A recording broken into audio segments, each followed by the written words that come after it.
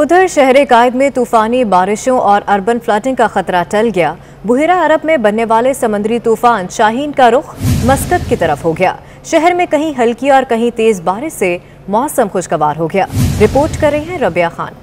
बहरा अरब में मौजूद समुद्री तूफ़ान शाहीन ने ओमान का रुख कर लिया। कराची और बलूचिस्तान को समुद्री तूफ़ान से कोई खतरा नहीं।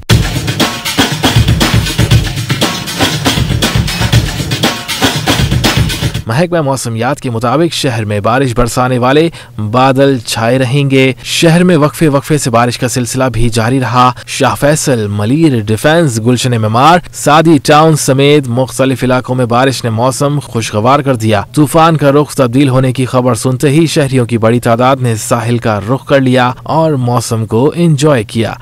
शहर में सैंतीस किलोमीटर फ़ी घंटा की रफ्तार से हवाओं का सिलसिला भी जारी है। महकमा मौसमियात के मुताबिक आइंदा 24 घंटों के दौरान बारिश और बूंदाबांदी का सिलसिला जारी रहेगा।